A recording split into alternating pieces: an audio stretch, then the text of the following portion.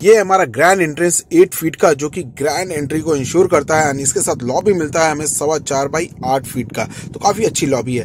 हम four B के flat की सीरीज़ लेके आए हुए हैं और आपको मल्टीपल फोर बी के ऑप्शन पूरे नोएडा एक्सटेंशन में जो है, वो हम दिखाने वाले हैं। तो ये हमारा फ़र्स्ट फोर बी का प्रोजेक्ट है, जिसको हम दिखा रहे हैं। जैसे ही हम एंटर करते हैं लॉबी से आगे बढ़ते हैं तो लेफ़्ट साइड में हमें एक बड़ा सा रूम मिलता है और इस रूम के साथ हमें मिलता है अटैच वॉशरूम काफ़ी वेंटिलेटेड है। डे टाइम में आप देखिए, मैं वीडियो शूट कर रहा हूँ तो पूरे रूम में अगर मैं लाइटिंग की बात करूँ तो काफ़ी अच्छी लाइटिंग है। और ये हमारा वॉशरूम है। यहाँ पे वॉशरूम आपको काफ़ी बड़े साइज़ के मिलते हैं। साढ़े पाँच बाई आठ फीट का आपको वॉशरूम मिल जाता है। एंड वॉशरूम में भी आप देखेंगे लाइटिंग काफ़ी अच्छी है। तो प्रॉपर लाइटिंग पूरे आपको फ्लैट में मिलने वाली है। एंड वेंटिलेशन भी बहुत अच्छा मिलने वाला है। इस रूम के साथ अटैच हमें मिलता है बालकनी बालकनी जो लिविंग है, इस रूम के साथ अटैच है। और बालकनी का साइज़ काफ़ी बड़ा है। साढ़े बारह बाई आठ, सवा आठ की बालकनी है, जिसको आप मिनी गार्डन के साथ गेस्ट लाउंज की तरह यूज़ कर सकते हैं कि जैसे बारिश के मौसम पे आप अगर शौकीन हैं बालकनी में बैठ के इंजॉय करने के लिए तो ये काफ़ी अच्छा ऑप्शन हो सकता है। और 130 मीटर वाइड रोड पे ये लगा हुआ प्रोजेक्ट है मतलब मेन रोड का ये प्रोजेक्ट है, जहाँ पे आपको पेट्रोल पंप दिख रहा है, सामने कई सारी बिल्डिंगें दिख रही हैं। तो opposite side knowledge park five है एस है। तो आगे हम बात करेंगे। मैं ये कह रहा था कि बालकनी के जो शौकीन है, इट मीन बारिश के मौसम में बालकनी, मिनी गार्डन, इन सारी चीज़ों के शौकीन है तो ये फ्लैट आपके लिए एक बेस्ट ऑप्शन हो सकता है। और ये हमारा living room living room and dining room L shape में है तो लिविंग रूम की साइज़ की मैं बात करूँ तो 10 बाई 16 का लिविंग रूम है एंड डाइनिंग रूम सेपरेट है एट नाइन बाई नाइन का। तो दोनों में काफ़ी एम्पल स्पेस है और दोनों को अपने अकॉर्डिंग प्राइवेटली डिज़ाइन भी हम कर सकते हैं।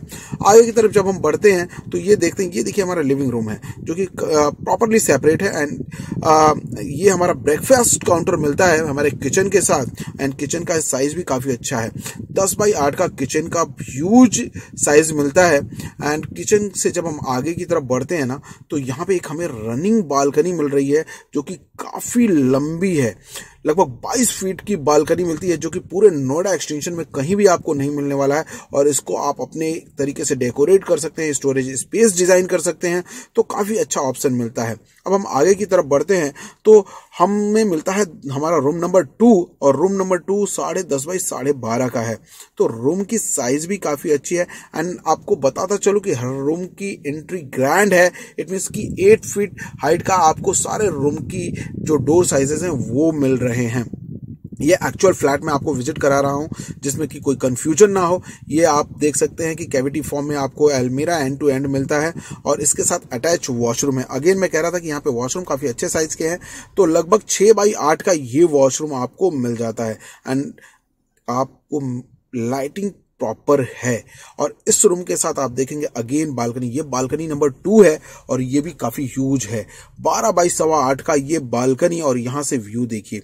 क्या अमेजिंग व्यू है। और ये सामने हमारा इंडिया का सबसे बड़ा data centre Yotta data centre operational हो चुका है फ़र्स्ट फ़ेज़ और ये कई सारी बिल्डिंगें जो कंस्ट्रक्ट हो रही हैं। यहाँ पे बड़ी कंपनियाँ आ रही हैं। आप देखेंगे मल्टीनेशनल कंपनियाँ एक से दो साल में ऑपरेशनल मिलने वाले क्योंकि टावर खड़े हो चुके हैं। तो जल्द ही आपको कंपनियाँ मिलेंगी। फिर इस लोकेशन पर आपको कुछ भी नहीं मिलने वाला। और ये हॉट लोकेशन है। मेन रोड की प्रॉपर्टी है। और ये देखिए आपका फोर बी के टावर का कंस्ट्रक्शन देख सकते हैं कि इस एक्चुअल फ़ेज़ पे ये कंस्ट्रक्शन चल रहा है एक्चुअल साइड पे। अब ये हमारा रूम नंबर थ्री है।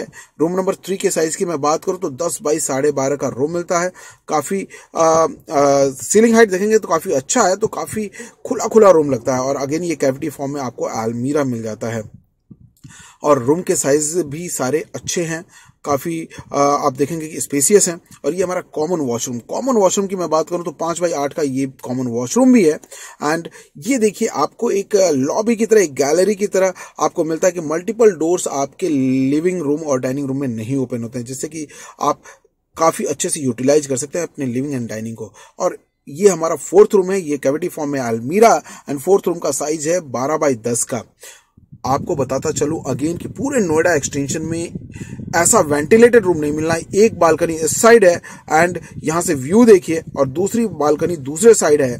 तो इससे वेंटिलेटेड रूम नहीं मिलना है। तो अगेन मैं आपको बताता चलूँ कि फोर बी के इन ऑप्शंस में, ये ऑप्शन आपको कैसा लगा कमेंट करके ज़रूर बताइएगा। एंड कोई क्वेरी हो तो आप हमारे नंबर पर कॉल कर सकते हैं, हमारी सपोर्ट टीम से बात कर सकते हैं। बाय बाय मिलते हैं नेक्स्ट वीडियो में।